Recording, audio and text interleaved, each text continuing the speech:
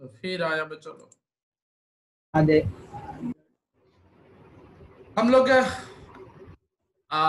Software analysis का system analysis का जिसमें एच को स्पेशली हम लोग पढ़ रहे हैं तो उसके अंदर हम लोग जो एक बहुत ही मेजर टॉपिक है टेस्टिंग टेस्टिंग को हम लोग अभी शुरू किए हुए हैं और पढ़ रहे हैं और टेस्टिंग में हम लोग जो शुरुआती दौर से पढ़ते हुए यूनिट टेस्टिंग से शुरू करके और हम लोग अभी तक पहुँचे हुए हैं ब्लैक बॉक्स टेस्टिंग को और साथ में व्हाइट बॉक्स टेस्टिंग को भी। हम लोग एक बार थोड़ा सा रिव्यू करते हुए, एक बार हम लोग आगे बढ़ते हैं और फिर आज हम लोग क्या पढ़ना है स्पेशली जो हम लोग देखते हैं और दोनों में डिफरेंसेस देखेंगे आज, जो हमको लगता है कि ऐसे अगर पीछे वाला वीडियो देखेंगे या लेक्चर देखेंगे तो मुझे लगता है कि वो समझ में आ गई होगी कि हाँ दोनों में डिफरेंसेस क्या है तो दोनों का डिफरेंस अगर उसके डिफिनीशन को ही देखे, उसके पिक्चर को ही देखे तो समझ में आ जा रही होगी। फिर भी हम लोग यहाँ पे एक बार देखते हैं और उसको रिव्यू करने का प्रयास करते हैं।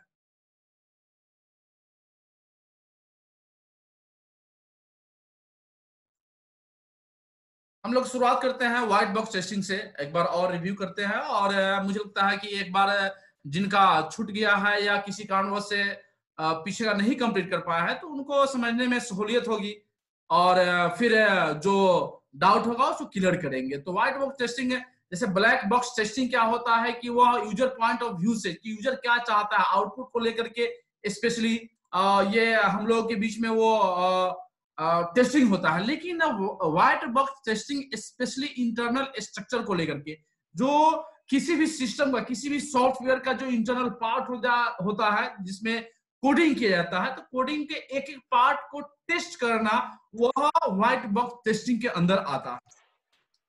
क्या क्या चेक होता है तो स्पेशली हम लोग देख चुके हैं और यहाँ एक बार और रिव्यू कर लेते हैं। Checking for loopholes in internal security features detecting poorly structured poorly structured path encoded structure, proper functioning of conditional loops, the smooth flow of input data through the individual testing of every object or functionality related to the product under ये हम लोग इसको देख चुके हैं। और ये step जो होता है व्हाइट बॉक्स टेस्टिंग का स्पेशली चूँकि मैं बार बार बता रहा हूँ white box testing specially internal checking है एक्चुअली इंटरनली जो चेक करते हैं, जो भी ये एक्टिविटी होता है, जो कोड डेवलप किया जाता है, वो कोड पे देखा जाता है। तो पहले कि गेन इनसाइट टू कोड है, उसके अंदर जाते हैं हम लोग। Gaining understanding of language and tools use वह लैंग्वेज किस लैंग्वेज पे उसका इस्तेमाल किया जा रहा है, उसको हम लोग देखते हैं और किस टूल का इस्तेमाल करके उसको डेवलप किया जा रहा है, उसको देखते हैं टेस्ट कैसे क्रिएट किया जाता है? प्रत्येक पाथ को ब्रांच को स्टेटमेंट को लेकर के जितने भी स्टेटमेंट होते हैं पाथ होते हैं सबको चेक करते हुए यहाँ पे उसको क्रिएट किया जाता है। टेस्ट एग्जीक्यूशन जितना भी टेस्ट केसेस क्रिएट किया जाता है, सबको टेस्ट किया जाता है कि हाँ यह केस चल रहा है या नहीं चल रहा है। टेस्ट रिज़ल्ट जनरेशन उसके बाद जो उसका रिज़ल्ट होता है आउटपुट होता है, उसको जनरेट किया जाता है। और इसके अंदर व्हाइट बॉक्स टेस्टिंग का तीन टेक्निक है, जो स्पेशली हम लोग यहाँ पे देखे भी, तीसरे स्टेप में देखेंगे तो वो दिया भी हुआ है पास स्टेटमेंट उसको स्पेशली यहाँ पे देखेंगे। व्हाइट बॉक्स टेस्टिंग के अंदर है, पहला है statement coverage coverage and coverage statement coverage का क्या है?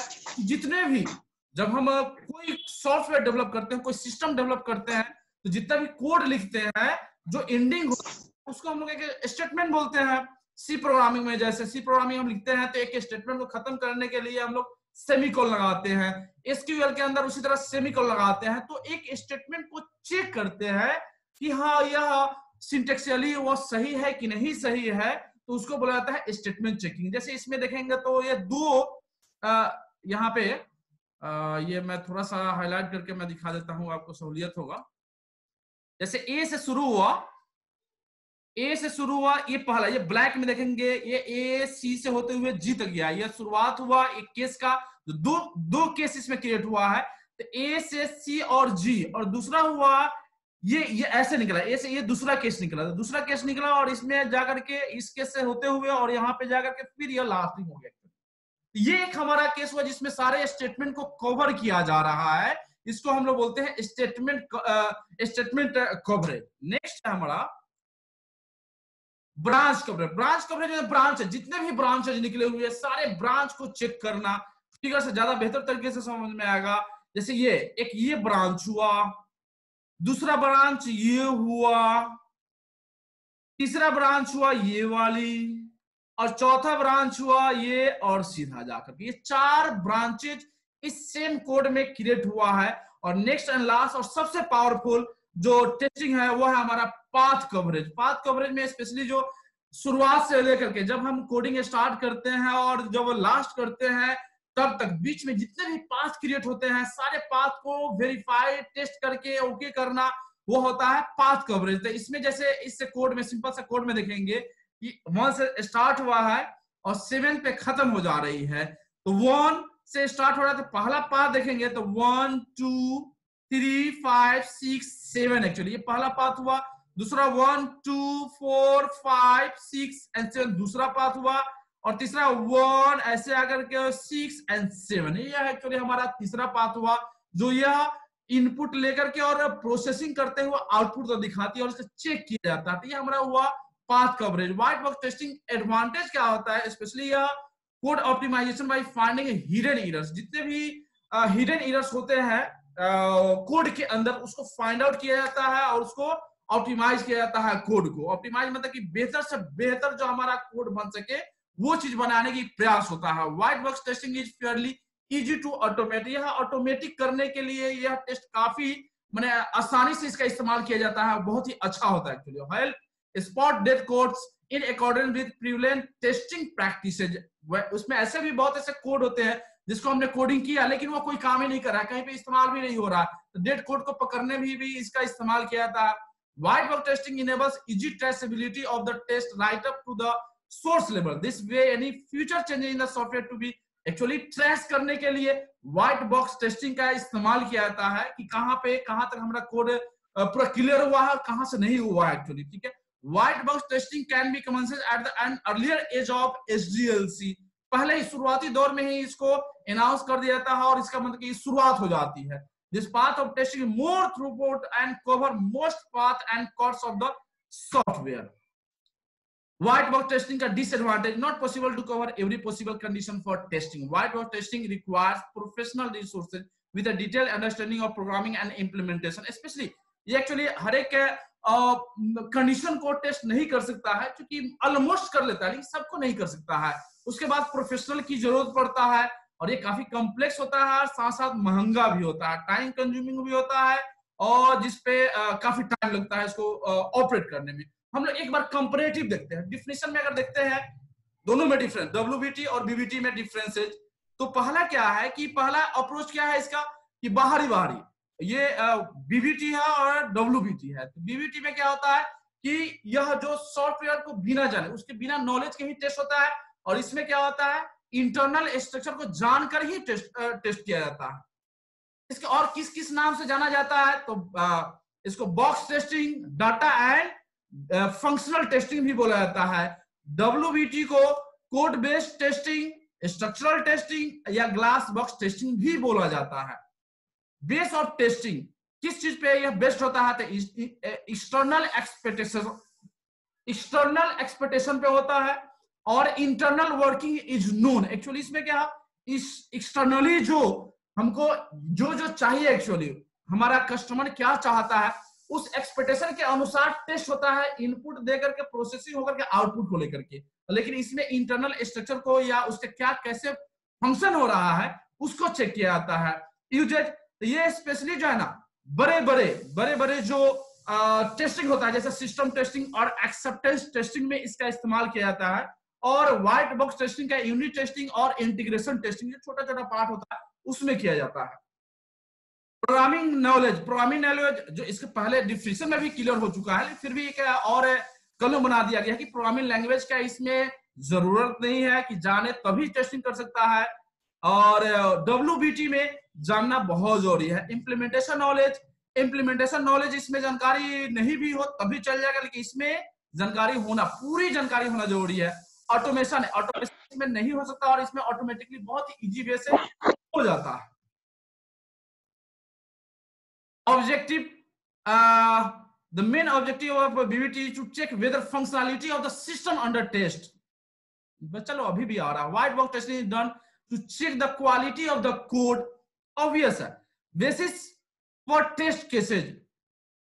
Testing can start after preparing requirement specification document. Testing can start after preparing for detailed design document ये डिज़ाइन डॉक्यूमेंट के बाद होता है और यह क्या होता है जो स्पेसिफिकेशन जो हमने एनालिसिस किया, जो केसेस हमने क्रिएट किया कि जैसे फिजिबिलिटी स्टडी सिस्टम स्टडी हम लोगों ने जो चेक किया था और उसको समझा था, वो सब होने के बाद जो है ना, हम लोग यार केसेज स्टार्ट होता है बीबीटी लेकिन डब्ल्यू जब डिज़ाइनिंग स्टार्ट हो जाता है, वहाँ से स्टार्ट होता है कि इंटरनली जो है ना, जो डिज़ाइनिंग हमारा काम करता है कि ना, कि नहीं करता है, वहाँ से स्टार्ट होता है।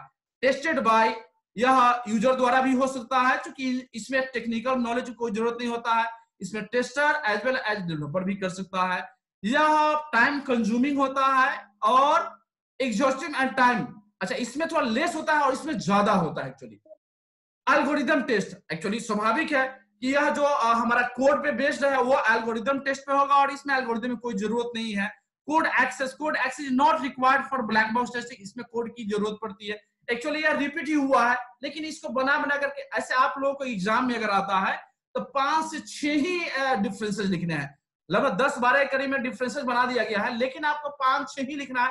उसके लिए ज़्यादा टेंशन ज़रूरत नहीं है जो सिंपल सिंपल सा चीज़ है, उसको आप दिमाग में रखें और आप लिखे एकदम बेहतर रखें। स्किल लेवल स्वाभाविक है कि इसमें लो स्किल वाले भी टेस्ट कर सकते हैं, और इसमें एक्सपर्ट की ही ज़रूरत पड़ता है। ये हमारा हुआ डिफरेंस है एक छोटा सा टॉपिक जो ब्लैक बॉक्स और व्हाइट बॉक्स टेस्टिंग को लेकर के है, जब दोनों को मिलाया जाता है तो ग्रे बॉक्स टेस्टिंग होता है। ये ऐसे हम लोगों को सिलेबस में नहीं है, लेकिन फिर भी इसको थोड़ा सा नॉलेज ले लेते हैं, जिससे आप लोग अगर कहीं इसकी ज़रूरत पड़े तो इसको समझते रहे कि ये होता क्या है। ब्लैक बॉक्स टेस्टिंग और व्हाइट बॉक्स टेस्टिंग को जब इंक्लूड किया जाता है तो ग्रे बॉक्स टेस्टिंग बनता है। इस पर देखेंगे तो समझ में आया क्या चीज़? कि ब्लैक बॉक्स टेस्टिंग में एकदम नॉलेज ज़ीरो हो तब भी चलेगा। ग्रे बॉक्स टेस्टिंग में मतलब कि थोड़ा सा इसे बढ़ करके लिए व्हाइट बॉक्स टेस्टिंग में एकदम एक्सपर्ट चाहिए। तो यहाँ समझ में आ रहा है कि ये ग्रे बॉक्स टेस्टिंग है ब्लैक बॉक्स टेस्टिंग और व्हाइट बॉक्स टेस्टिंग के बीच का, यानी कि दोनों के एडवांटेज को वह अपने साथ लेता है और तब काम करता है। या हाँ एक्चुअली ग्रे है मतलब थोड़ा बहुत दिखाई देता है कोड थोड़ा बहुत दिखाई देता है। इसमें एक्चुअली जो है ना ग्रे कहने का मतलब ही होता है पार्शियली जो है ना उसमें देख सकते हैं। लेकिन कोड को एक्सेस नहीं किया जा सकता। इस बात का क्या रखना है? इसका बहुत बड़ा एडवांटेज होता। है Of course the grey box method mainly combines advantages from the white box and block box method. एक छोटा सा टॉपिक हम लोग ने टेस्टिंग कर लिया सॉफ्टवेयर तैयार हो गया कि हमारा सॉफ्टवेयर क्वालिटी वाला है कि नहीं है। अब उसको चेक करना है तो उसके लिए बहुत सारे एक्चुअली स्टेप्स है, बहुत सारे एक्टिविटीज़ है, जिसको लेकर के उसकी शुद्धता को लेकर के, उसकी क्वालिटी को लेकर उसके माप कर किया जा सकता है, जिसको हम लोग बोलते हैं quality software quality software is reasonably bug और डिफेक्ट फ्री इसमें कोई कमी नहीं होनी चाहिए, इसकी एसोरिटी हो जानी चाहिए डिलीवर्ड ऑन टाइम टाइम पे आए विद इन बजट में हो, और जो हमारी रिक्वायरमेंट है, और उसको मीट करे और इसको मेंटेन किया जा सके। तो क्या क्या हो सकता है इसमें? गुड डिज़ाइन हो look and style good functionality हो it does the job well reliable हो जिसपे हम विश्वास कर सके। एक्चुअली उसका जो भी आउटपुट आए, जो भी काम करे मतलब कि ये हो कि हाँ ये जो कंपनी है एक्चुअली रिलेबल है। रिलेबल मतलब कि वो उस पर हम ट्रस्ट कर सकते हैं हमारा वो जो सॉफ्टवेयर है, या सिस्टम है रिलेबल होनी चाहिए। कंसिस्टेंसी एक्चुअली क्या होता है कि एक सिस्टम के अंदर बहुत सारे मल्टीपल फ़ंक्शन होते हैं तो हर एक जगह वो कंसिस्टेंट परफॉर्मेंस दे। एक साल बाद भी, दस साल बाद भी कंसिस्टेंट फ़ंक्शन दे आउटपुट दे, उसको बोलते हैं कंसिस्टेंसी ऐसी उसकी क्वालिटी होनी चाहिए। ड्यूरेबल मतलब last as long as it should be जितना ज़्यादा जा सकता है, उतना तक इसकी ड्यूरेबिलिटी होनी चाहिए। गुड आफ्टर सेल्फ सर्विस स्वाभाविक है कि बेचने के बाद, बिकने के बाद भी इसकी सर्विस जो है बहुत बेहतर होनी चाहिए। वैल्यू फॉर मनी अब कोई खरीद ले, उस सॉफ्टवेयर को तो उसको यह फील ना हो कि मेरा पैसा पानी में चला गया। इसको यह फील हो कि मेरा पैसा जो है ना लगा है तो उसकी रिक्वायरमेंट जो हमारी आउटपुट आनी चाहिए हमको मिल रहा है। एक बहुत ही अच्छा टॉपिक है, और इसको समझ जाएँगे। ये क्वालिटी मैंने सॉफ्टवेयर की क्वालिटी को मापने का यह एक मेज़रमेंट है। S Q software quality assurance यह इसको इसका फुल फॉर्म होता है। और इसके द्वारा क्या होता है किसी भी सॉफ्टवेयर के क्वालिटी को चेक किया जाता है। जैसे सर्टिफिकेशन या लाइसेंस कह सकते हैं ना कि लाइसेंस देना कि हाँ अब आपका सॉफ्टवेयर या सिस्टम जो है ना पूरी तरह से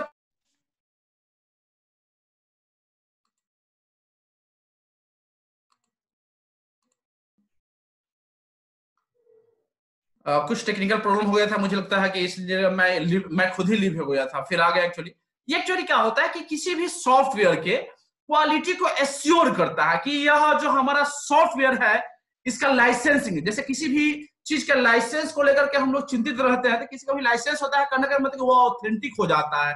तो सॉफ्टवेयर के या किसी भी ऑर्गेनाइजेशन या किसी भी सिस्टम को अगर एस क्यू ए अगर ऑथेंटिकेशन मिल गया, जैसे एक एग्जांपल देखते हैं आईएसओ आईएसओ का फुल फॉर्म होता है क्या चीज़?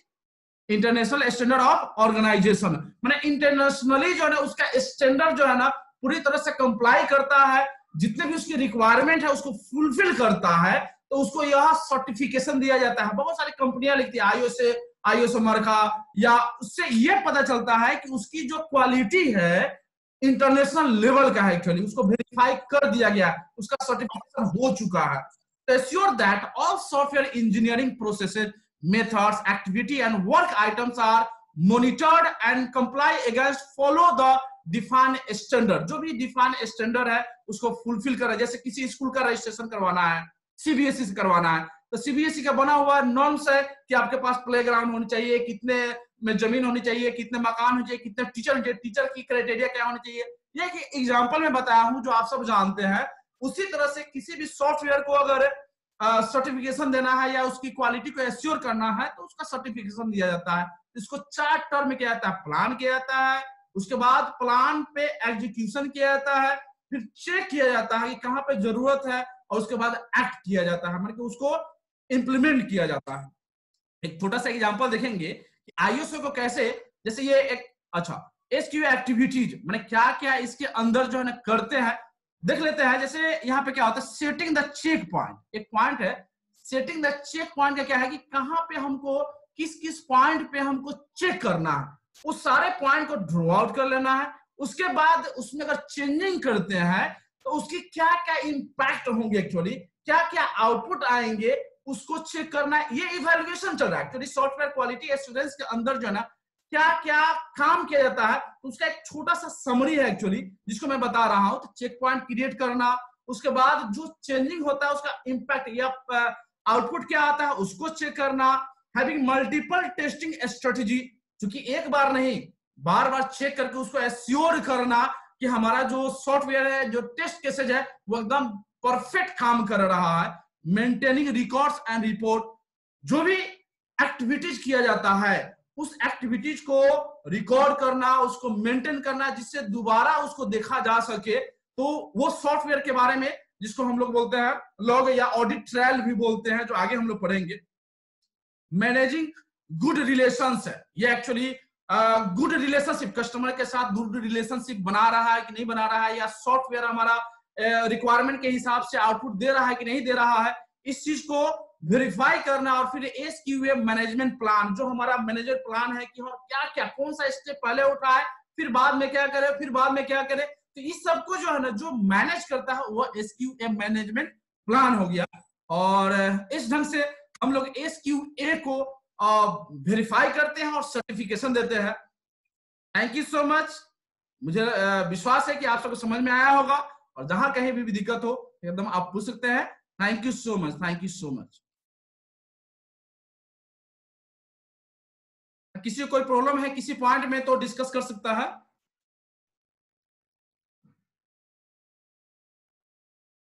हेलो बच्चों। नो सर कोई प्रॉब्लम